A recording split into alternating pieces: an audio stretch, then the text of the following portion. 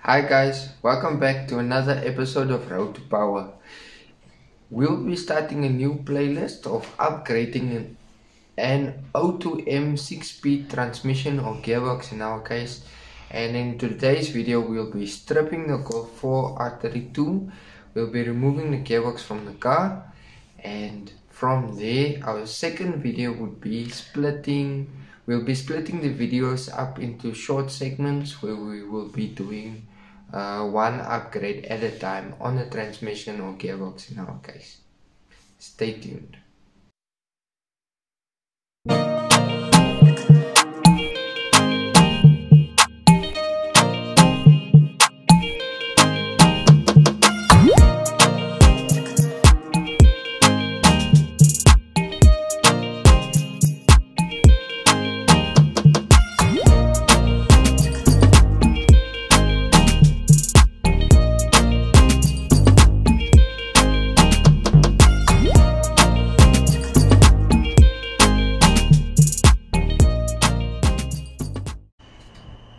So guys uh, this is how far we got on day one.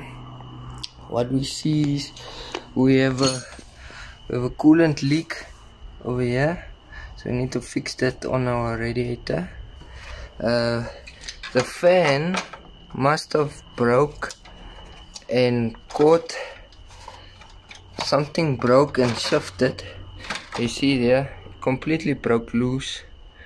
So that we'll have to fix um, what we can see it's a little bit wet over there from the oil that we can fix. I'm not sure whether that's the um, the dipstick.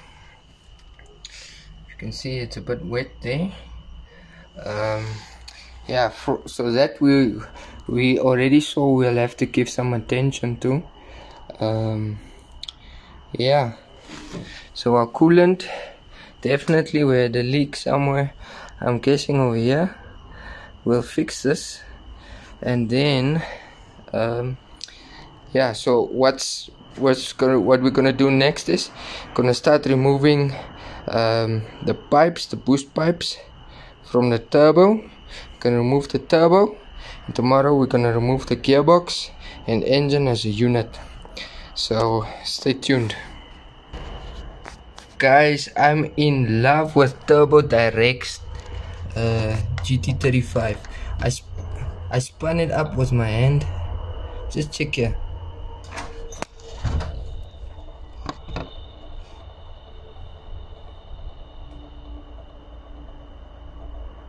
Wow. Just wow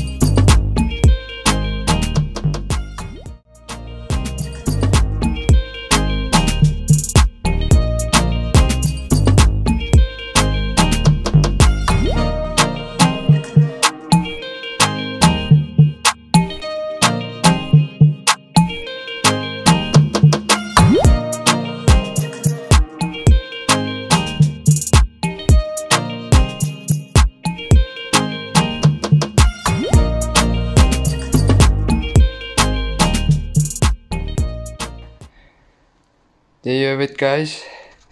So step one is take out your engine. And uh, yeah we're gonna take it from there.